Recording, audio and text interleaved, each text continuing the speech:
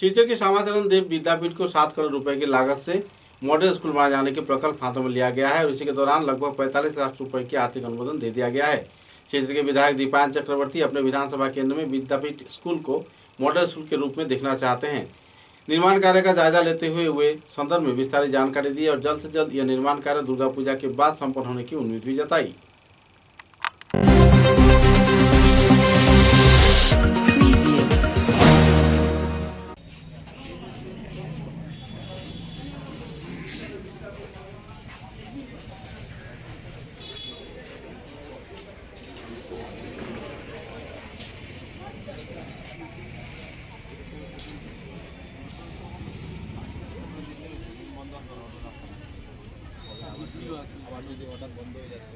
না এটা তো চলবে না একটা ইস্যু এটারে বিলটা বিলটারে পুরো কমপ্লিট করিয়া আর শাটারিং করতে কত দিন চলবে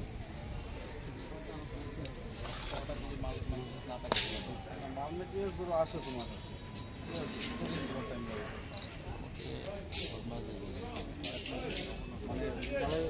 ডালাই করার আগ পর্যন্ত রেডি করে তো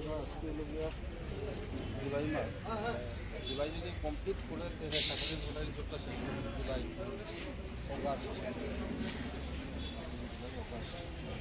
না অগাস্টও গিয়া গিয়া তুমি গিয়ে দিতে পারবে।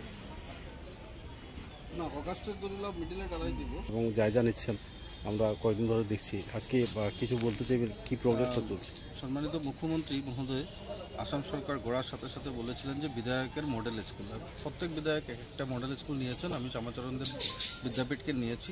এই মুহূর্তে শ্যামাচরণদেব বিদ্যাপীঠ মডেল স্কুলে মুখ্যমন্ত্রী এখন পর্যন্ত বিভিন্ন ফান্ড থেকে আমরা, আমাদেরকে পঁয়তাল্লিশ লাখ টাকা দিয়েছেন। এটাতে সাত কোটি টাকার একটা প্রজেক্ট রয়েছে। আমি জানি না কী করে হবে, কিন্তু আমার বিদ্যাপীঠের অ্যালুমনিরা রয়েছেন।